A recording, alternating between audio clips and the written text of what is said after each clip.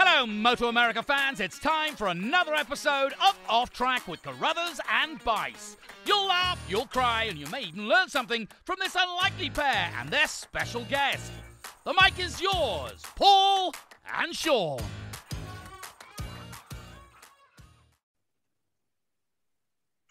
Hello, everybody. This is Paul Carruthers, and I'm joined as always by Sean Bice. And this is our weekly podcast, Off Track with Carruthers and Bice, where we talk about all things Moto America.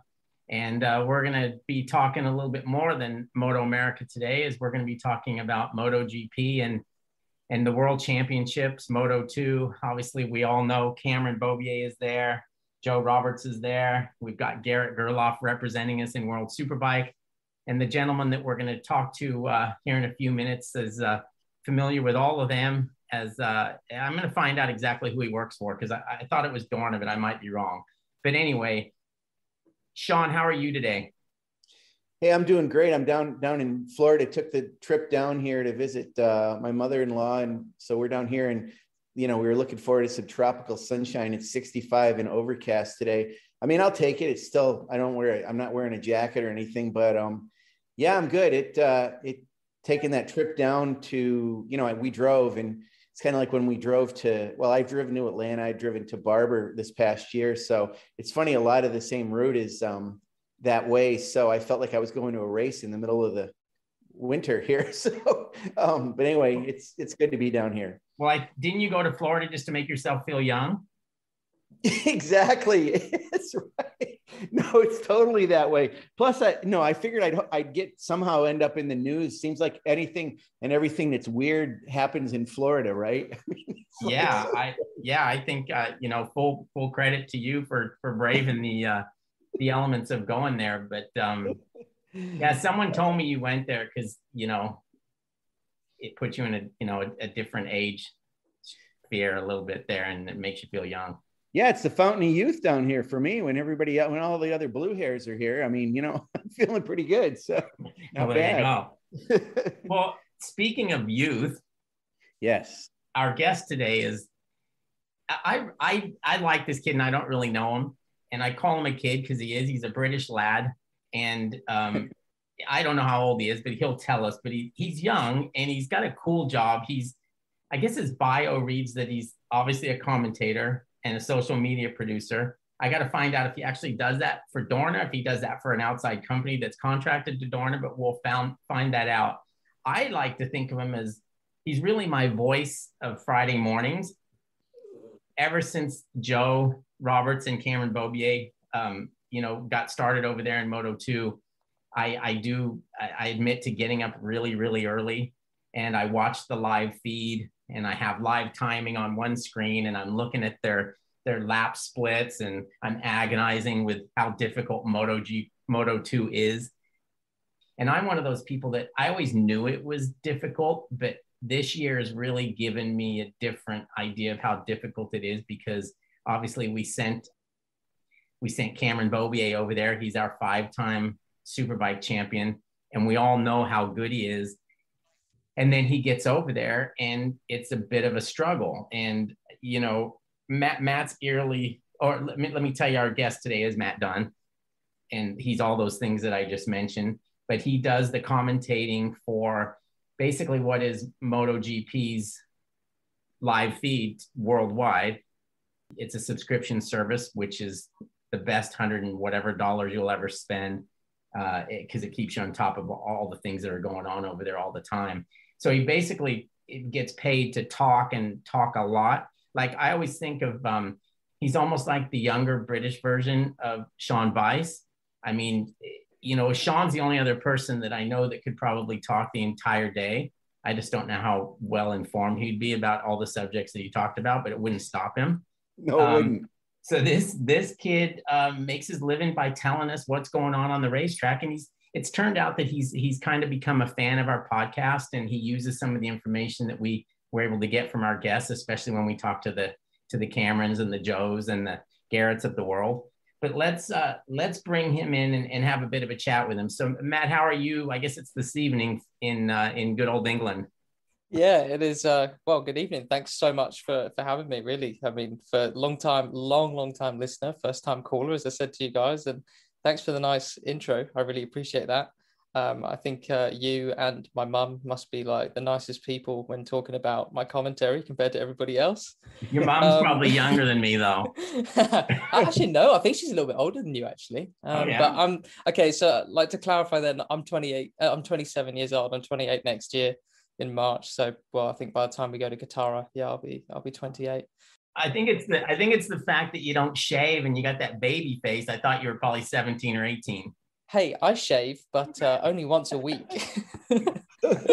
so uh, no, it's uh, yeah, yeah. No, I appreciate. I'm quite young. I think it gives me a bit of a. It's useful when it comes to to working in the paddock because it. I think it disarms people quite a bit because they just look like, oh, what's it? Oh, I'm not gonna, not gonna tell this nice little kid to go away. I can't do that. He's like a puppy dog. So I use it to my advantage sometimes, you know. Yeah, you can't tell you can't tell a young kid to piss off, right? yeah, yeah, exactly. And also, well, I mean, some people also, do. It's also good that it. I mean, it's such a young sport, and you know, I like to think of myself as as a lot younger than what I am, and I and I give a lot of credit to that to to being involved in a sport where the participants are all young. So you kind of you you sort of uh, you sort of meet somewhere in the middle as far as as how you interact with them and stuff. So um, yeah, I think you're in a, you're in a good spot, and man, it's hard for me to not think you're probably just living the dream. Is that correct? Oh yeah, I know absolutely. It's been. Um, I mean, I won't lie. Like the last two years have been pretty full on, like very non-stop. By the end of the season, when it finishes, I'm I'm very very tired. Like uh, the last actual week, and it's not obviously the the COVID and things like that, but I've had a pretty sore throat. So I was actually kind of wondering, like, oh god. So right. because you mentioned like, oh, do you want to come on the podcast? And uh, um, it's it's pretty tiring, but it is obviously when you're doing it and you're looking talking to you guys be a bit of an opportunity to look back on the season. I'm like, wow, yes, yeah, absolutely, uh, living the dream, absolutely no question about it. Now let's let's back up a little bit and talk about you before we get into to talking about Moto two, et cetera. But um, sure. it, it, do you work for Dorna, or is it another company that's that's contracted to Dorna? Uh, so I, I actually technically work for myself for my own media company, First Non Throttle Media. It's like it's what I had to do in order to come and live in England and still work for Dorna. I was previously an employee of theirs living in Spain. Um, but due to the pandemic, uh, family factors, and you know, uh, got another half as well. I've been with for a few years. I wanted to move back to the UK, so in order to continue working, I had to to embrace the freelance life. Um, so I work my company First Non Throttle Media, like I'm contracted to Dorna to, to carry out commentary services and, and social media production services. Basically, I'm I'm essentially doing the same that I was last year, but just as a as a freelancer now. I first learned about you, I think, was right in the lockdown part of, of COVID when you were doing mm. interviews and stuff on on Zoom or, or Skype or whatever it was. That's where I first got my uh, my indoctrination into Matt Dunn. So And yeah, uh, was that because you were thinking, who the hell is this idiot they've got on their Instagram stories? Well, yeah, I was I was thinking, how freaking bored must I be to be watching this? yeah, well, everybody was right. That's why actually they did kind of good on the views and things like that. And uh, yeah, with yeah. a captive audience, right? Yeah, yeah, exactly. And do you know what's really funny? Full circle. Obviously, we're not doing this on video, so like you said in the WhatsApp messages, no one's probably wearing trousers or pants, as you guys call them, right? But in this v- very room that I'm in right now, uh, is uh, the spare bedroom in my in my other half's father's house uh, in the northeast of England. And this is the same room, same seat, and everything that I did all these podcasts and all these Instagram stories, uh, Instagram live interviews with riders from in that lockdown. This is where I spent it for that's four awesome. months. So uh, yeah, it's kind of full circle, and that's and that's where this um, where we are now, just outside of Durham in the UK. It's an old train line which has sort of been gravelled over. Um, that's part of the coast to coast route in the UK uh, used to do i was doing like runs up and down there trying to keep a bit of fit trying to keep that lockdown weight off. And that's where i was listening to you guys' podcast keeping me sane. Ben bostrom cam beaubier joe robertson it was great. So I, I, thank you for the the entertainment and and keeping me well sane basically whilst we were locked up. Well what a small world it is. And sean the one another cool thing about matt i feel like i'm the president of his fan club already and it's kind of creepy but anyway no, I it's I always I'm always interested by youth that has a feel for history of their sport, especially when they work in the sport. It's it's it's it's all too common to talk to a young racer these days that don't know, you know, yeah, anything from five or ten years earlier than when they started. So Matt's uh, Matt's got a pretty good feel of of what's going on and and and the history of the sport. So it's it's I, I appreciate that as well.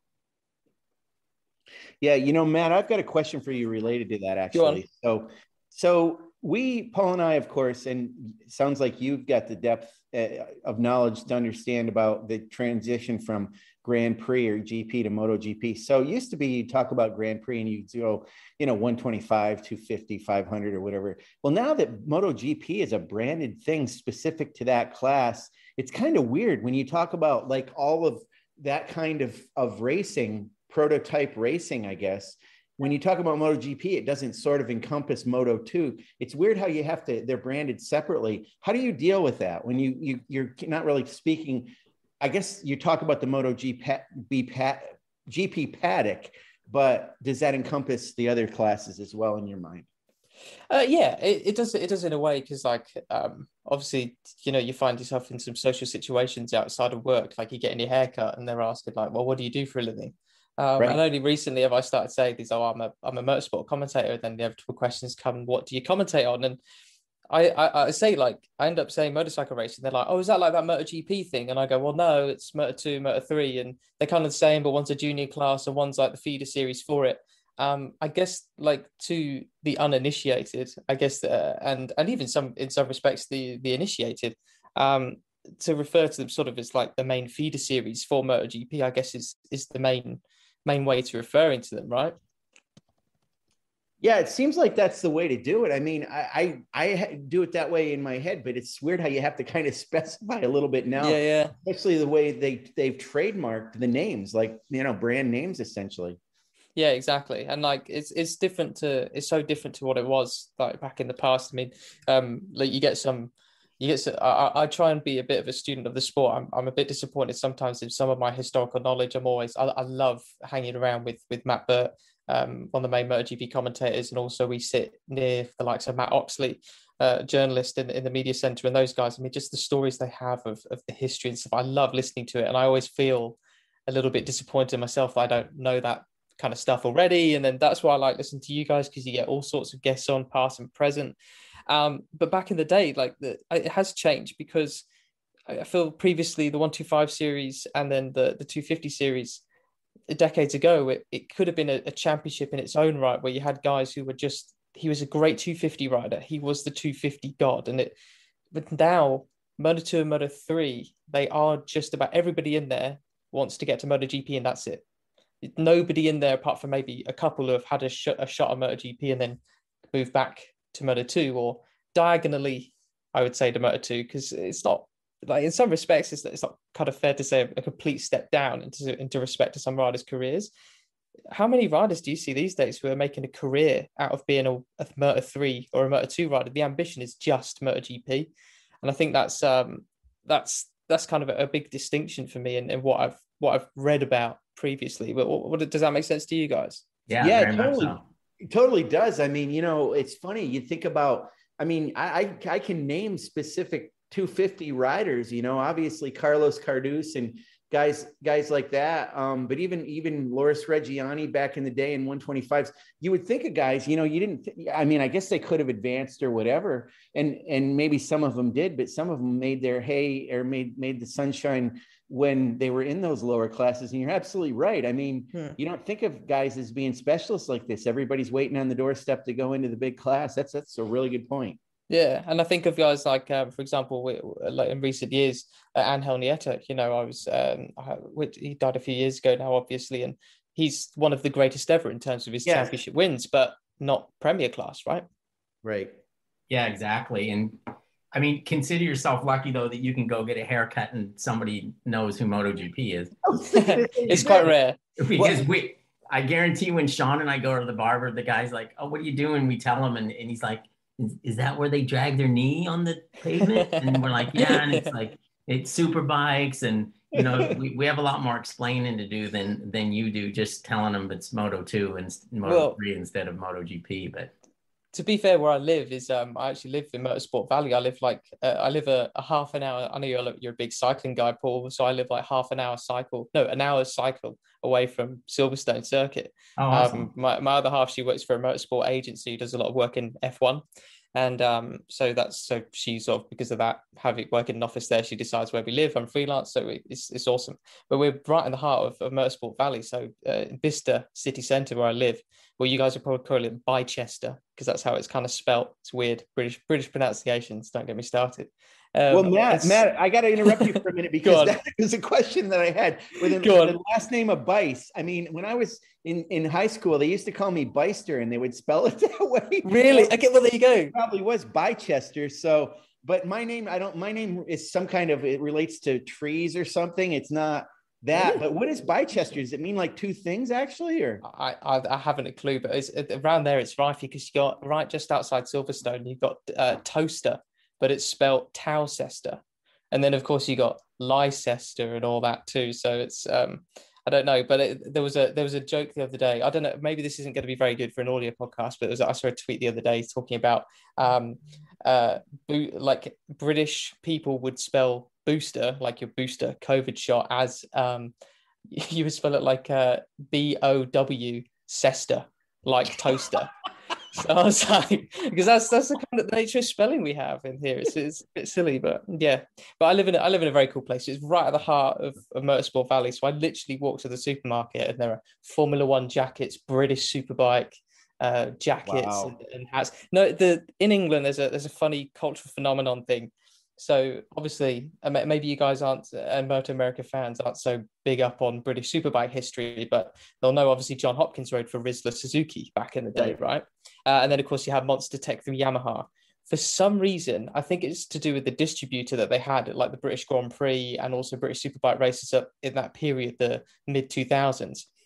You will see I guarantee you, some wherever you go in the UK, any city, any town, you go out shopping for a restaurant, you will see either a Rizla Suzuki hat or fleece or jacket, or you'll see a Monster Yamaha Tech 3 jacket, fleece, hat. Wow. Everywhere. I, am not even joking. That is a thing in, in England. And, uh, and and now I've said it. Everybody listening, if they're British or they come here, they will notice it. I guarantee you. Well, that Rizla had that baby blue that was kind of cool. Yes. Yeah, yeah, yeah. I mean, it, it was a nice looking yeah, it, it's it'd be a nice looking jacket, whether or not they exist or not anymore, you know. So let's yeah, go yeah, with that. Yeah. And then I want to back up a little bit. You said something about your partner. I I yeah I saw her tagged on one of your Instagram pages, so I clicked on her name and went to her page, kind of stalkish a little bit, which yeah, know, yeah. I don't feel real good about. But I want to tell you that you're 100% boxing above your weight. Oh no, wow. no, Thank you very much. Yeah, I got to see. Everybody tells me that. wow, appreciate that. Thank you.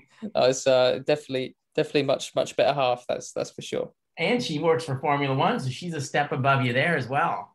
Yeah, yeah, I know. I'm I'm seven years into this game, and I guess like professionally, the next year will be my seventh year working professionally in MotoGP, and then beyond that, I think I've I've I was grinding away for a good. I would say I was working away three years off my own back, like, or my, well, actually using my student loan to fund me going to races and renting cameras um, for three years before that. So I'm like 10 years into this. She's one year and working for Formula One. Well, like in, in, Formula One, not at the actual promoter, but like uh, working working in Formula One stuff. So that's pretty cool. Eh? Yeah, she's at the big show. Yeah, yeah, yeah, yeah, exactly. Let, let, let's take a look at this for a second. How how did you get to where you are? As um, far as how does how did how does one get started in that these days? Um, well, being young and not asking for very much money helps everybody. That helps. Uh, yeah, that is uh, that is number one. If you um, and it's sort of having at the time, so I, was, I just finished university, so you know, fifty grand student loan. Uh, had applied for a, a lifeguarding job, got rejected from it, and then uh, also applied to be an events uh, manager executive at Brands Hatch for like, and I think they were advertising. I don't know how it, it wasn't much, like it wasn't really a living wage. I got rejected from that as well. Didn't it like got a rejection letter? I actually got a rejection letter from that as I got accepted from Dorna. So um, I met I'm uh, I was co-running with a few people a, a blog on Twitter called Paddock Chatter. Um, I think it's under a different name now, but we had like 25,000 Twitter followers at one point Um, we we took this over from a guy called Tim Teal who created it uh, maybe 2010, and I was working on it with a few people who I've named in. I've done a, a, a couple of a couple of other podcasts and uh, spoken about this a little bit before, so I won't bore everybody with details again. But um, but there's like there was a good six of us behind that, you know, over time. Uh, 20, 2011 to 2015, I was sort of most active on on the Paddock Chatter blog, along with a few other people, um, uh, including Neil Morrison. Actually, my co-commentator wrote for the blog a couple of times whilst he was trying to make waves in the industry. And uh, because it had a bit of a following, MotoGP invited us along to Silverstone to basically do some social media, some tweets and Instagram posts about the event to promote their new campaign with Motul Oils, the, the MotoGP Buzz project, which then essentially turned into now the Motul, Motul Superfan project. Um, so I got invited to that. I was the one available, went to it. The guy who was taking me around asked what I was doing. I just finished university. He said, Would you like to move to Barcelona and work in MotoGP? And there you go. Ticket, off you go. Wow. So I started as a as a social media editor in MotoGP. So I was the one in, in 2016. I was the person posting on the Instagram, Twitter, and Facebook channels, or me. I wasn't creating wow. the videos and stuff. I was like right. a whole web team and video production team working on that, but I was the one doing the posting as my first job in Dorna. Wow. Matt, did, cool. you, did you work with or do you know Dylan Gray? Yeah, so I worked with Dylan. Um, Dylan was the so I worked with Dylan whilst I was working in the office 2016, 2017 in Barcelona. He was, you know, he's like he was like he was a bit of a superstar to me. I'm not afraid of being that. Like, oh my gosh, it's Dylan Gray. Like I've known of him for a few years by that point. And um, and also we went to the same um college. How random is that? Oh wow. Me and Dylan. Yeah, yeah, yeah. So um uh and uh yeah, so I would see him as he would come back from the races and and then when he announced he left, he was he told me just after he had went and told the bosses. And he said to me, like, Matt, you're you, like I think you you got something, you're a bit you got a good bit of talent, you're funny, whatever. Go and if you want a job traveling in the paddock, not just posting on social media. I don't know what your ambitions are, but if you want something, this is the he was telling me this in Valencia go and tell the bosses now what you want and that you want to travel and you want to do things and see if you can fit in. Go and do it. So I'd marched right over to my then boss, uh, Mikhail Morel's um, office, and I was like, "Hello, Dylan's just told me he's leaving. He also told me that I should uh, should come and pitch myself for a job at the circuit with you guys.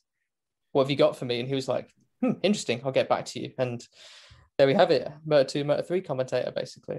That was what. That was it, huh? That's what did it. Yeah, yeah, basically, yeah. I mean, I, I mean, I'd done a couple of um, I'd done a couple of video voiceovers. I was doing this one called "Missing Missing the Apex." It was called, uh, which is like this kind of Mickey taking piss. Can we swear on this one? Piss taking. Yeah, we um, do you have to bleep that? Um, no. uh, piss piss taking video about stuff, but you know, it was it was all it was fairly nice. I did that after every GP for two years, I think. Hmm. Two years, one year, and and so they were like, "Oh, okay, so you can speak on camera, that's fine." And then doing Twitter tweets throughout a race, you know, you are that is a that is a form of commentary. You know, it's no it's no it's no coincidence that actually two of the main guys who do the Twitter for MotoGP now, Lewis Suddaby and Jack Gorst, they're also very good commentators. They, they're quality. Lewis was presenting after the flag from the test. He also does some FIM CEV from Repsol. Um, going to be called the Junior GP next year, uh, and so does so does Jack Gorst. He does the esports commentary. They're great because it's the same skill set. Right. Um, so that's how the, the bosses deemed, oh, Matt, Matt should be quite good. We'll stick him with Neil Morrison. Um, I don't know how his story came about. You guys will have to interview him. And there we were, um, absolutely sweating one out in Qatar because we were so nervous. Round one, FP1. so you you know the situation about how everything went with Dylan Gray then when he was going to be with us and and then he wasn't. Yeah. Now he's I think in Canada with Terry and yeah, yeah, beautiful wife. baby yeah, it's just crazy how everything changed with him. And, you know, we came so close to having him with us, and he was doing a lot of research. He was contacting all the writers, And it's just a shame how, how things went because we were looking forward to having him with us. That's for sure. Yeah. Dylan, Dylan's absolute class. There is, I don't think there's there's very few people who have in the last like 10 years in terms of that this media space who have been as dedicated as, as Dylan Gray is and and uh, like uh, uh, him and well, anyone who steps into that pit lane role is absolutely dedicated as it gets. Him and now obviously Simon Crafar taken over from him. Simon is like equally um, just as dedicated to finding out anything and everything they can, you know, about this sport. And uh, it's, yes, awesome. I have so much admiration. I could never do that job. I mean, geez, like that's wild. I think that is one of the hardest jobs there. Yeah. When you've got to go talk to somebody that doesn't necessarily want to talk to you. Yeah. And well, you got to that's, do it that's on probably air and me you're and doing it live. And I know Simon, you know, he he he was under a lot of heat there early in his when he took that job, but the improvements that he's made and now I think you know everybody loves him. So it's just Oh, yeah. know that if you stick with it and do your work. there was a class um an absolute class thread on uh, reddit last year at some point um which basically just like was about uh, 200 odd people i think in the end all basically um someone started it it was like simon crafar is like uh, i can't believe how amazingly simon crafar has, has improved from, from what they deemed he was before Right. uh, at the start, and he had like 200 people underneath it, all commenting like, "Oh my gosh, Simon is absolutely phenomenal." And some people saying, "Yeah, I didn't like him at first, but now he, I can't imagine life in MotoGP without him. He's fantastic." And and I, I almost brought a tear to my because I know how hard he worked to do Mhm. that. Like he went to, he went, I think he did a bit of media training and stuff, and but his commitment, there was no question of his commitment. Anyways, you're just thrown into the lions' den. You know, it's it's it's like like we will probably talk about later on in terms of like Cam coming over to Moto Two. Does it, Right. it, just you know Simon Crafar was thrown into that into the Lions Den as well. That's a that's a tough job. Much like Steve Day was thrown into Lions Den, uh, taken over from Nick Harris. You know, Nick Harris, such a stalwart of, of the Right. paddock after he retired, and also me to an extent. You know, I jump in, I'm something completely different. I had no commentary training, I um or anything like that. I just I, I tried to be myself whilst talking, and uh, there are a lot of people which don't like that, and they will tell you about that. And it's uh, unfortunate that I don't really care. yeah, it's not for the thin-skinned, is it? No, no, exactly. I just I maintained a rule, and I and I hope I don't know about the others necessarily, um, but I just maintain a rule that if the guys who are paying my wages and helping me do this like it, then to hell with everybody else. Hundred percent. Absolutely. Yeah, Sean and I, that's why we don't do it because uh man, we have thin, thin skin over here. Oh, here. very. It's It's Yeah. like it's like Yeah. transparent. Yeah, yeah. if uh, Yeah, but you- if we we read one bad comment, we're like, that's it, we're done. We're not doing it anymore. I We should don't know, need but I this guess, shit. Yeah, yeah, no, I, I get it. It's it's so fun. Like I love, mate. I get we I get all, the whole whole range of comments on our podcast that we we done the last couple of years. Like Poindexter, everyone calls me. Like you- I've seen that. I've seen that used like five times. And I'm like, yep, no worries. Cheers, mate. So yeah, it's it's pretty brutal out there. So I mean, yeah, uh, I'm just want to say like massive respect to to Simon for for like sticking with it and uh, and being just as awesome as he's a he's, he's first and foremost one of the best human beings I've ever met in my life, Mhm. both in terms of entertainment value, um, and also what he does for his friends. I love him to bits. Um, and then secondly, his grind and how hard he works and he wants to conquer. He's put as much effort into this as he would have done in his racing career. I'm absolutely sure of it. That's right. And that's why he won a Grand Prix. Hell yeah. I was I was gonna say Matt and Paul. That's uh, Simon Crafar is actually a kind of a hero of mine because of that win he had at uh, Red uh, Red Bull 500 back in the day. There, I mean, it was. In fact, there was one time where I think he posted and I actually commented on it, and he he, he commented back, which I was like, oh my gosh, Simon Crafar actually said something to me. But but I wanted to mention about Simon. It's similar in our situation, Matt, with our uh, one of our commentators on our Moto America Live Plus streaming service, Roger Hayden. He um he's he was well liked from the beginning and continues to be, but that guy, oh my gosh, he does his homework so much and he's he's improved a lot and he knows he has, but um it's just it's it's a it was an untapped resource with him because he's known to be such kind of a quiet guy who speaks more with facial expressions than he does with his voice. Well, now he's just tremendous on broadcasts and we're just thrilled to have him. No, I'm really glad to hear that. Yeah, like I think um, uh, it's it's funny because just because you're an ex-athlete doesn't mean you are going to be great at talking about your sport in the media landscape. That's not a given. I don't I don't like. I love it when people say to me like, "What experience have you got in racing? You have no." right." It's like, mate, just because you don't have experience in racing doesn't mean you can't talk about it. And also, uh, just because you are an ex-racer, an ex-athlete in any sport, doesn't mean you're instantly way better than someone who's never done it of talking about it. You know, it's it's it doesn't. uh, So to actually to be an ex rider and to actually be good at in that media landscape, you got to tip your hat to anybody who could do that. Yeah, unfortunately, there's not a lot of them, or none of us would have jobs. yeah, thank God, right? I'd, have, I'd have to go race or something. no, I'd have to. Well, but I've always said if I if I ever got like uh, booted off from MotoGP, I'd go be a landscape gardener. Yeah, spend time outside, uh, stay fit, and also I hear that it's also creative, and also I, I hear you uh, get paid quite well in that. So that's that's my post MotoGP job. Or as my uh, my other half says, whenever we well we don't at the moment because COVID and pandemic and all that, but whenever we used to go visit places like uh, um we went to Edinburgh Zoo on one of our first weekends together. There was a guy stood in the queue uh, of like the ticket line entertaining people. She just pointed to me. I was like, "That's your post Dorna There- job." There you go. so, retirement job. yeah, exactly, exactly. All right, let's talk a little bit about motorcycle racing, shall we? Yeah, Um, do it. The we obviously we have Joe Roberts now and Cameron Beaubier in Moto 2, and you spend a good part of your life talking about Moto 2, obviously. What Mhm. what like if you're okay we, we already know what joe's capable of because he's had moments of brilliance. Um cameron came in as a five-time moto america superbike champion. How did how or i don't even know if you would know this but was how did people feel about him like people that were racing with him?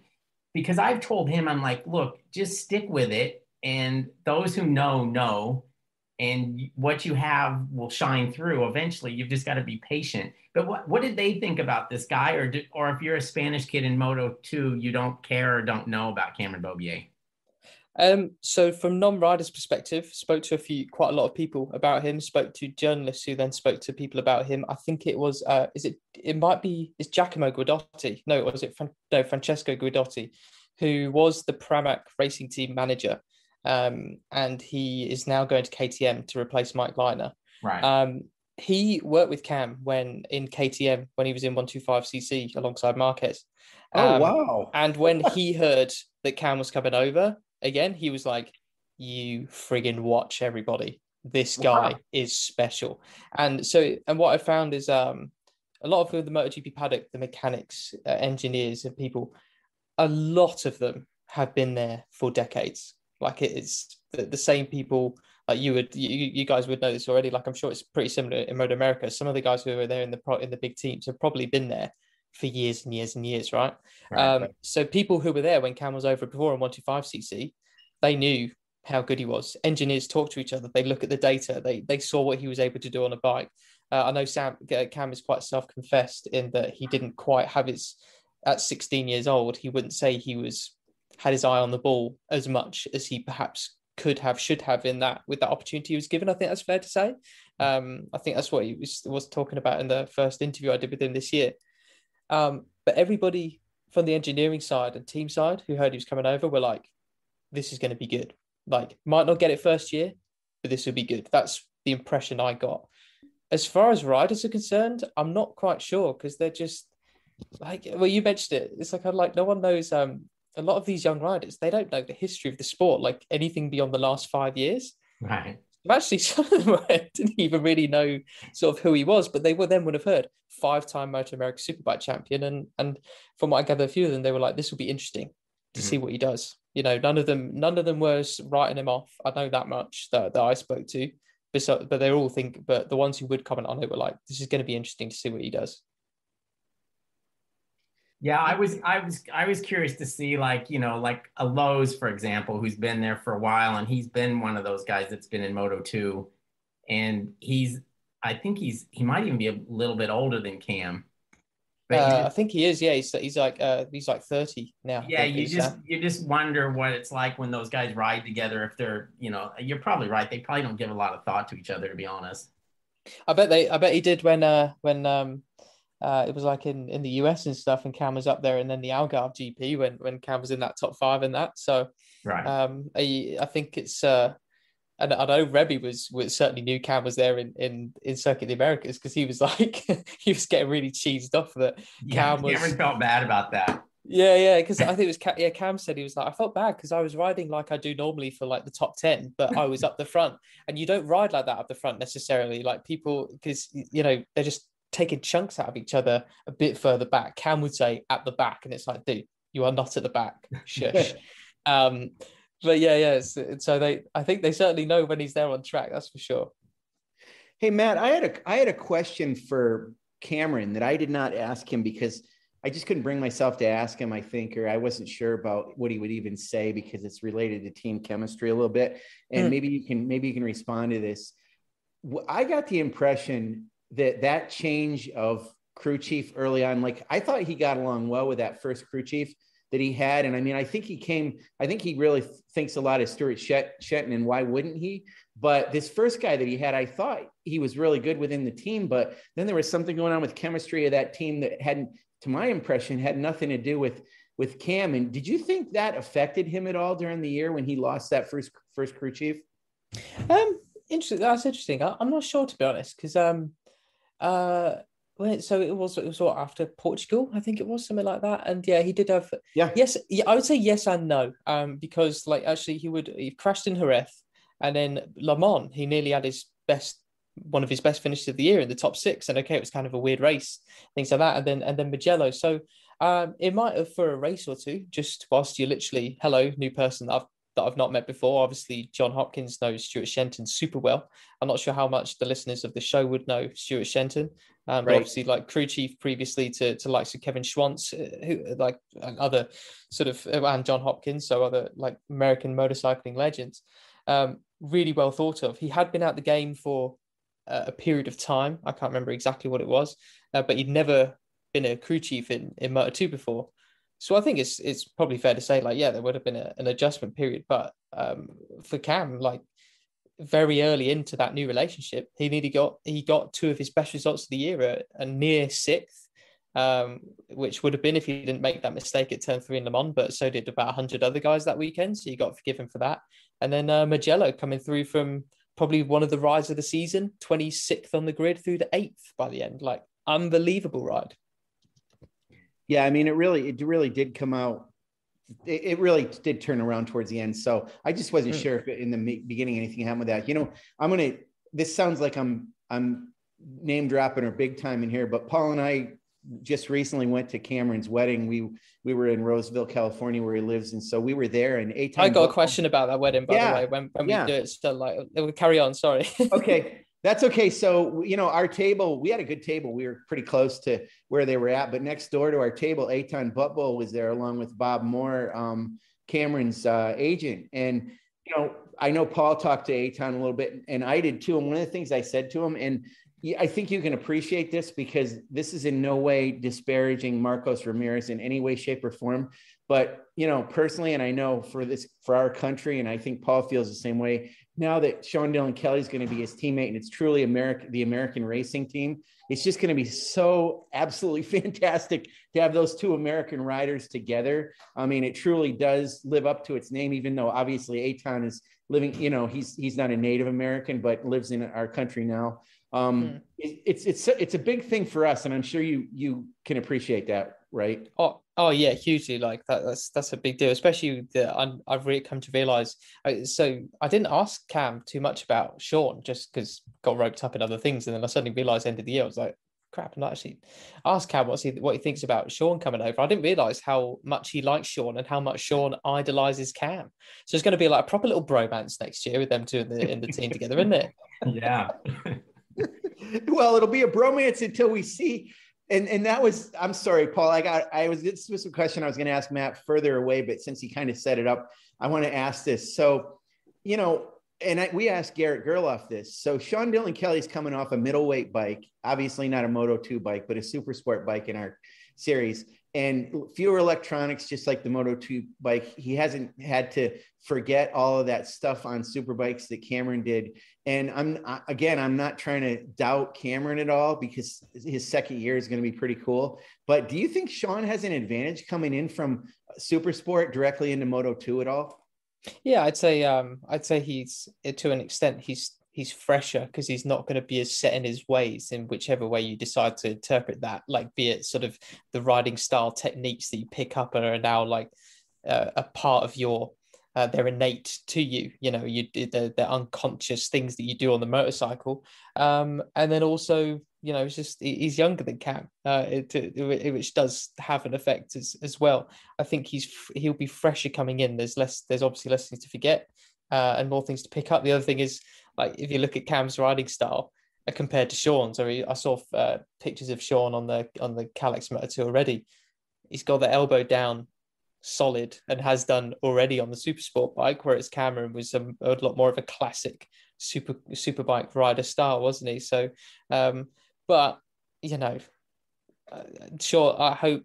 Well, having spoken to Sean off camera and on camera a couple of times with a couple of interviews, I'm sure he will. But I hope he still remembers like this is your first year, mate. Welcome to the Lions Den.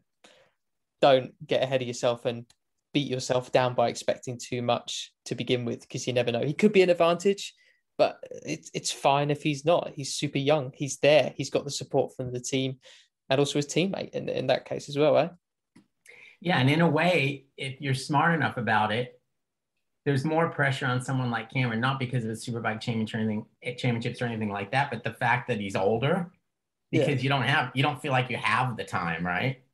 And yeah. somebody like Sean Dylan Kelly, I mean, take your time, kid. You'll be fine. You, you could do this for four or five years and you'd still you'd be young. Mate, I still think the same thing applies to Joe Roberts. Oh, I took totally. Like Joe's Joe's Joe's 24. And Joe right. likes to he said to me a few times or whatever, it was his birthday at Silverstone. I was like, Happy birthday, dude. And he's like, I know, 24, getting old. Everybody around my age does that. Like I'm I'm one of the only people around me in my sort of circle of friends, like friends in the in sort of the industry and then private friends who don't know anything about bikes I'm one of the only people who says we're 27, we're super young. All my friends around me think life's over.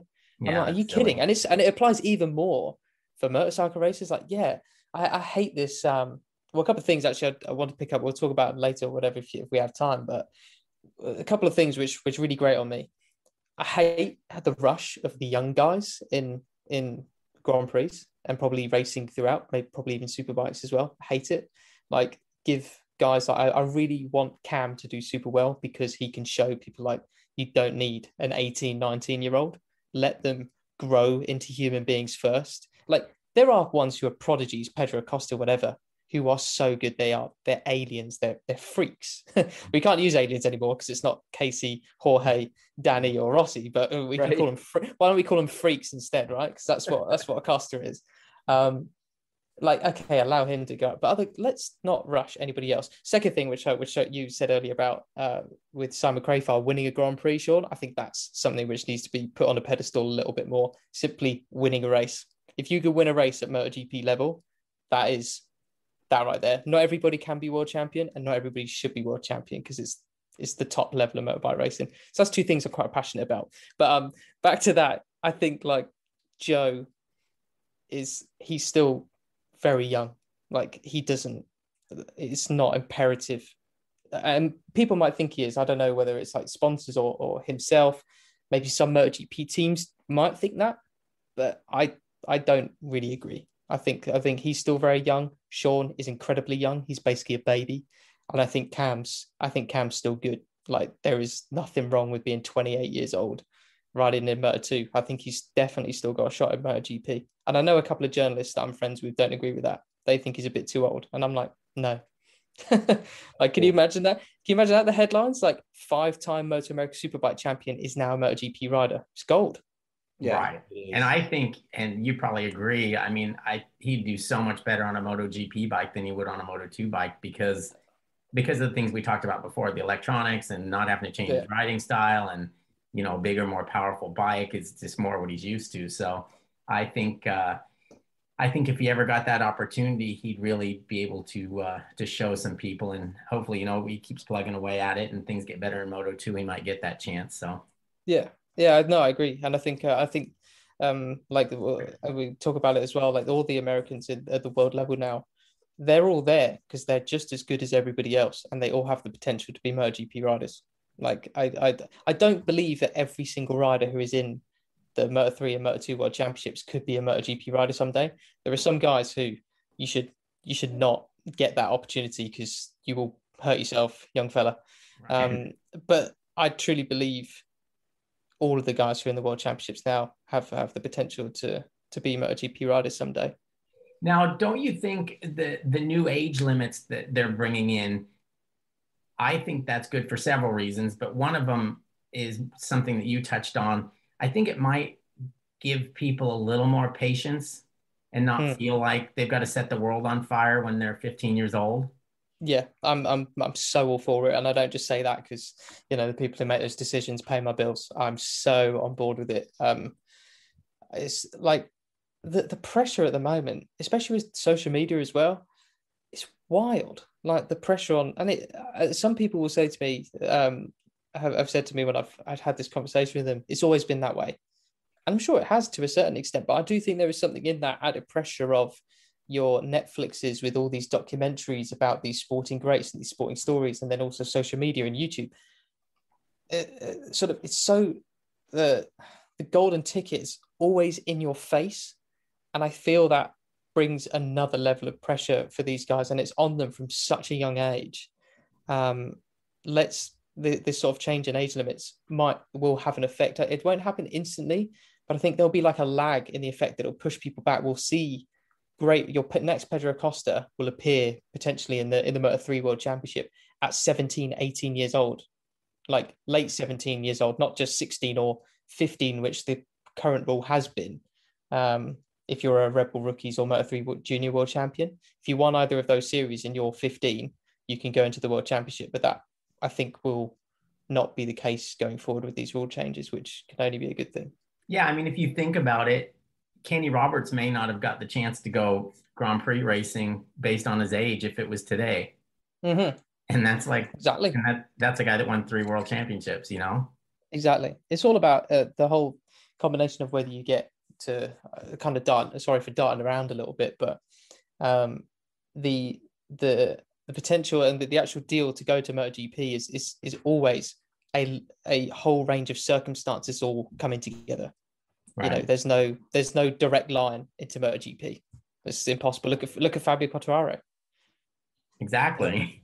Like, yeah. So I, I I hope though for the American sake, like those guys, because obviously I've I've got to know uh, Joe first, and then uh, Cam and uh, and Sean this year. I don't I don't know Garrett, but they all seem such good guys. I hope the circumstances uh, align for them correctly. Okay, now I want to go back to what your wedding question was. Go on. Oh, Oh, yeah. yeah. So, uh, so I saw on someone. Well, me and my other half were flicking through the Instagram stories. So there was a broken window. What what happened there? Yeah, I pushed Sean through it. Sha- um, it, it was weird. I didn't actually see it until after it happened, but I think it wasn't much. Somebody like touched it and it broke, didn't they, Sean? okay. Okay. Well, yeah, or you know, it was some one of the riders. Let me put it that way. And there were quite a few riders that were at that that wed- that wedding. I mean, Jake Gagne was there, and Mathew Scholtz, and you know, a whole bunch of our guys were there. And yeah, so one of them did something. Cam Petersen, I don't know. I'm not sure which one, but The- the- Um, he's uh, he's South African, isn't he? Cam Petersen. yes, Yeah. Him? Yeah, yeah. Well, they're, they're always causing trouble, aren't they? Yeah, I That- mean, if there's yeah. a broken window around in a South African, I'm going to go ahead and say it was him. Excellent. But it was it was good fun though, was it? It looked uh, it looked a good event. I enjoyed the video of Cam coming out with Shelby with a with a beer bottle in his hand already. yeah, Yeah. he's got the beer bottle. yeah, it was uh it was good. And the funny part is about that window was his father-in-law, new father-in-law, was a little freaked out about it because there was obviously thoughts that somebody was gonna have to pay. Hmm. And of course he was I, I think he was kind of putting it on Cameron and and Cameron, like most writers you know, they have the first nickel they've ever made somewhere lodged in their uh somewhere. But um so the next day, I, I happened, I went to Cameron's house. I'd never seen his place, and we had some time to kill before going to the airport. So we stopped by there to see his place. And uh, the father in law, we were out in the shed where all the bikes are, and the father in law came out and said, uh, Man, Cameron, I just got some really bad news from the wedding venue. And Cameron, I could see his face like drain of color. And he said, That, that window is $12,000. And Cameron's like, You're shitting me. And he said, Yes, I was shitting you because the wedding, the wed, the wedding venue actually paid for the paid for the window and uh, and got it reinstalled because they probably had a wedding the next day. So it, Oh. it all it all ended up well, but it was fun to see Cameron's face when he thought he might have to actually reach into his wallet. Absolutely no doubt. Even though as a five-time Moto America Superbike champion, I bet he's got a bit more dough than the rest of the Moto 2 field. He's probably still just as tight as the rest of them, eh? Oh yeah, yeah. You don't see him rolling around in any uh in any flash cars like some of those youngsters do, right? Right, and he's not he's not quite Garrett Gerloff level, Right. but Right. because Garrett is. I Garrett told me one time when he went to Europe a couple years ago to check out some racing and just kind of get his name out there.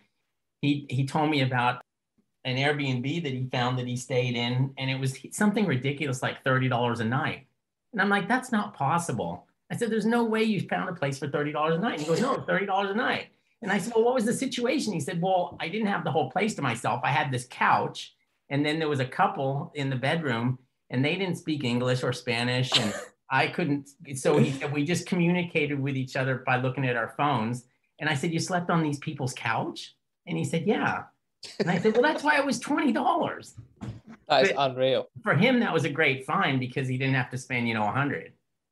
My yeah, I bet, I bet. Well, the one thing Cam, the one thing Cam living in uh, outside of he, lo- he loves it when I say he lives in Sitges. Um, uh, one thing uh, he's got to be careful of if if and when he moves out of his place, the landlords like to keep your deposit in Spain, and Oh, you ain't God. got you ain't got any renters' rights. I've lost over three thousand euros of deposits from landlords who are just like, oh, this is wrong, and you ain't got, you ain't got a leg to stand on. So if he's a if he's a man who doesn't like to part with his money, he's got to be careful with that. Make sure that place is tip top before he leaves. Well, I saw his place and it looks nice. I saw it on the on the new show you guys did, the Behind the Stars and Stripes, and uh, yeah, it looks like he's got a nice little setup. not bad, right? I didn't get to go. Um, Jack Gorst, who, who I talked about earlier, the esports commentator, he got to go because he lives in in Spain and stuff. So, um, but yeah, they had a great time. Thought it was pretty. He came back. He was like, Cam Cam's place is pretty swanky. I was like, really? Oh, there you go. I thought the show was really well done, and you I, like it? yeah, I liked it a lot, and I liked it co- because I think um, there's, and again, I, I I would even call myself briefly guilty of that, but it, it really does show you how hard that class is. And I Hmm. think that's good for our guys. Of course, Cameron, I saw him at the wedding. I'm like, oh man, this series is going to be good. And he's like, oh, I don't know if I did very well. I don't know. If I-" you know how he is, right? Yeah, yeah, Him and Joe, both the same on that on that yeah, front. eh? and they're both they both come off so well on camera. They look good, they sound good, they say all the right things, but they're funny, and you get Mm. to see their personality. But I think the show was good because I think it made people realize, like, look, these guys are they're they're they're good. They're just they just need a little more time. And that uh, that- that then mate you that's music to my ears that's that's perfect that's exactly what i wanted to do with it essentially well, that's good. Sean, what else do you got for Matt?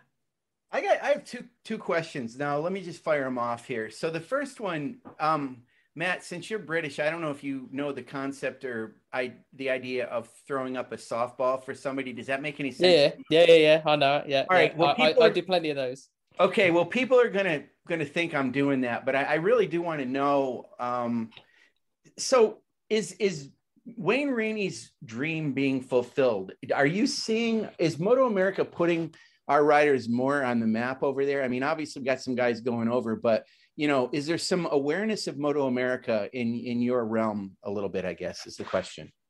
uh yeah i mean that's with simple simple correlation of if there are more americans coming over um, Right. they're, they're, they're good enough to be there. There's there's there's no such thing. Don't i hate the comments people saying oh it's, it's a passport gig or whatever and it- there's put the the token americans or whatever like that. That doesn't exist anymore. It's, it's the the championships are too good for that. If you're not good enough you're not there. Um, and if they are good enough it's because wayne's doing such a great job over back home simple Yeah, answer right I mean, there was a time. I mean, you, I'm sure you you know who Josh Hayes is. He did race, you know. So you know, Josh, you know, was the one that a lot of people pointed to. His career got a little bit started later, and he finally got a superbike ride later. And you know, but what he did when he raced um, for Tech Three, I mean, he Hmm. did a good job. And it just during that time period, the the or the series wasn't. I guess what it we didn't have Wayne Rainey. I guess that's part of it. So it was did- unfortunate for Josh. Didn't Josh? Uh, he topped the warm up session in Valencia, didn't he? Yeah. He sure And did. uh, yeah, and they were, they were joking. I remember the commentators at the time were saying like he's going to print off that PDF and frame it for his house. Yeah. So, uh, and I hope he did because that's awesome. It's just a, it's not it's not just a warm up session. It's you know good for you. That's that's cracking. So yeah, I can I can understand that. I always put a lot of importance on that warm up session, though. Mm. You I mean? to me, that's like that's those guys like this is what I'm going to be racing today, and you know, this is how fast I can go at race pace. For some reason, for some reason, um, last couple of years, like last year it was because of the calendar difference in, in times. But for some reason, like last two years, warm ups, I, me and Neil uh, commentate on the warm up sessions, and they kind of sucked because like there was one reason, like maybe there was some fog, the the the temperature of the of the track surface is so different that everybody every time it was like. Well, ladies and gents, this is going to be a pretty useless session. Ah, yeah. um, so we're just going to do a recap of the weekend Right. yeah, pre- previously they're pretty good. They're pretty indicative of, what's going on, aren't they? But Yeah, it's almost like if a this year, guy was fi- if a guy was fifth in warm up, he was going to finish about fifth in the race. exactly. Um, But now it's it's kind of a strange one, isn't it? All right, Sean, you got one more. Yeah, the other one I've got. So this this relates to kind of the paddock in general, and it's kind of wondering if you, you know, comparing notes between you, Matt, and what we do over here. I'll give you an example of this week because it's Christmas week. I'm doing this story about this sort of quote gift exchange between the riders. So I I divided all of them up and let them know, hey, you drew so and so's name. What would you get them for for Christmas? And obviously, the idea is you can get back at them, right, and kind of have gag gifts or whatever. And I'm doing a story on it. But as is the case with everything that we do, especially with our superbike riders, it, there are some riders that are just more than more than willing to help, and some that just aren't. I mean, Mhm. they don't. They're riders, right? They're not normal people. But plus, it's sometimes hard to get them to to participate. And we've t- I've talked to Michael Hill about this before with regard to World Superbike too. And you know, he he talks about how within World Superbike they have sanctions if they don't get involved. Do you struggle dealing with riders sometimes getting them to do an interview or or talk to you or get some information from them?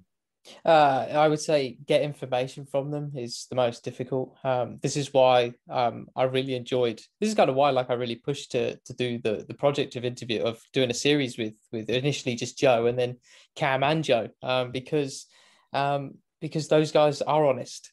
Um, getting stuff out of other riders. Oh my god, it's just cliche after cliche. There's a real there's a real issue to an extent in in uh, but I've, it's not just MotoGP. So uh, I hope no one thinks I'm just uh, taking a dump on them. But um, it's, it's same. It, it can be quite similar in Formula One and and in other sports as well. People just talking in cliches like, "Oh yeah, I'm going to be trying my hundred percent." Well, yeah, of course you are. like, Right. okay, you know, and- and so getting stuff out there is really difficult. Um, uh, but then that is also the the the game of the interview, isn't it as well? Um, but other writers, they they can.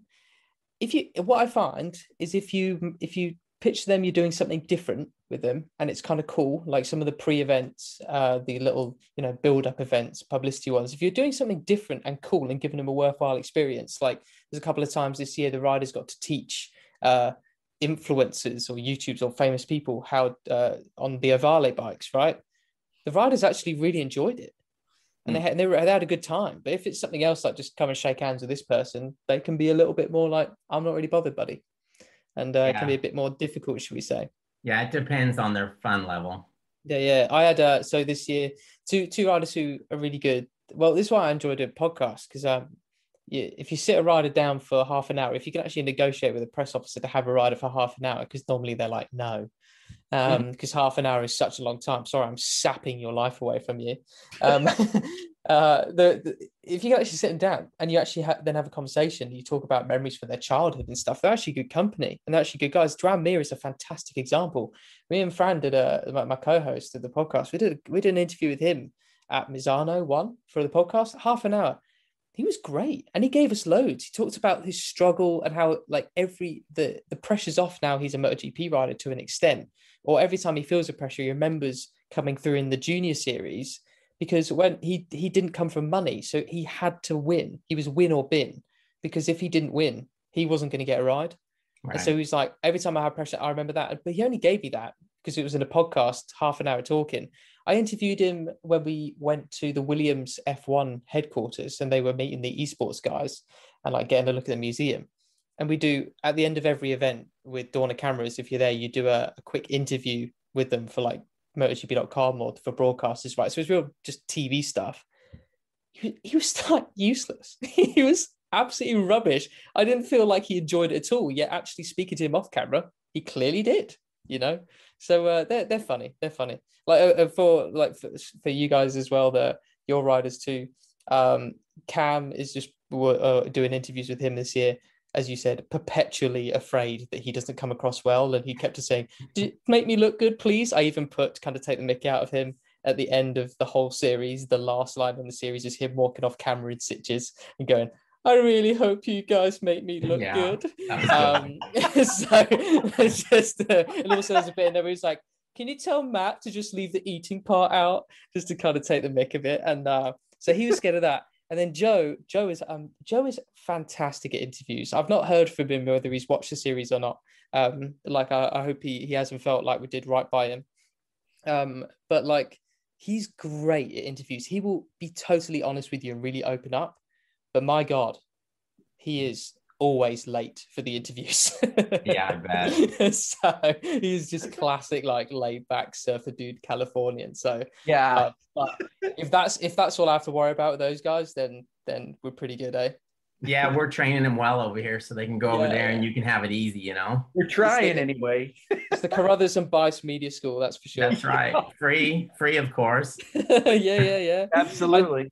Yeah, dude. So no, it's it's great. You've you brought up two really really great guys. By the way, well, something well funny. As I was doing a bit of research um, for old footage of like Joe when he was in in Moto Two first year. He is his accents turned more American recently. I, there was this interview I did with him at a test in Mugello 2018. No jokes, he had the most transatlantic accent ever. He actually sounded a little bit like I'm talking to you now. It was really funny because, but of course, both wow. his parents are British, right? Yes. Right. But it's funny how his accents change. I didn't know that. Not told him that actually. I should send him the link and be like, listen to your voice. Hilarious. Funny. Wow. You think it'd go the other way? That's I know, right? Yeah. yeah. All right, boys. Matt, I uh this has been fun and, and we'll have to do it again, but I appreciate you uh well, you're not staying up too late. What is it? Almost eight o'clock or something? Yeah, eight o'clock, and uh, yeah, I'm gonna go and have a have a gin gin and tonic before bed. There you go. All right, and then make sure you get up in the morning and run because I, I will see it on our uh, Strava. Well, the th- is the thing behind the stars and stripes killed my training for for a whole month. So um, yeah, I'm I'm trying to get back into it. Uh, yeah, um, go ahead and blame America. Yeah, yeah, yeah, yeah. No, I, I will do. I'll tell you what. Before we go, I will do a plug. Uh, it's on MotoGP.com at the moment, but it will be on MotoGP's YouTube channel sometime in January. Um, I really hope people get to go and watch it, and not because I made it, literally just because the message is that you have four great guys. They are good enough.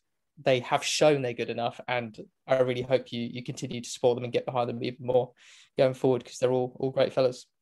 Yeah, I watched them uh, as soon as they came out. So well done there. And and again, like I mentioned earlier, I think it just really shows that uh, how difficult things are over there, and that these guys will uh, these guys will persevere and they'll have success. Exactly. Even this year's champ had four pretty rubbish years. So well, one thing I do, I one thing I I did like to rub in Cameron's face was I got the crash stats and he crashed 17 times in 2021 yeah. and actually made the top 10. So I sent that to him and I just said, brah. And he got back to me and he goes, yeah, it was a really quote unquote fun year. but he, he same same crash, right? Every time. Yeah, uh, yeah. And, and I don't think I think he I don't think he's crazy. I don't think he crashed 17 times in his Moto America career. That's what he said, oh. right? He, he, would normally crash three times a year there. That's max. That's about yeah. it. And it's just like there, it's just and I told him that early when he started having the crashes. I said, well, other than the fact that it's not fun to do it, don't worry about it because it's like it's, it's like a a badge of honor over there to throw the thing down the road at least you know a couple times a weekend, right? Mm-hmm, exactly. I feel sorry for Shelby because like she's never been used to seeing Cam crash so much. Right. Yeah, as, as hard enough as it is, you know. So uh, Cam's yeah. all right. He just gets up, shrugs it off. He's wearing Alpinestars He's good. Yeah. Okay, you so, two, thank you very much. And uh, both of you have a safe and, and happy holiday, and we'll talk again soon. Merry Christmas, fellas.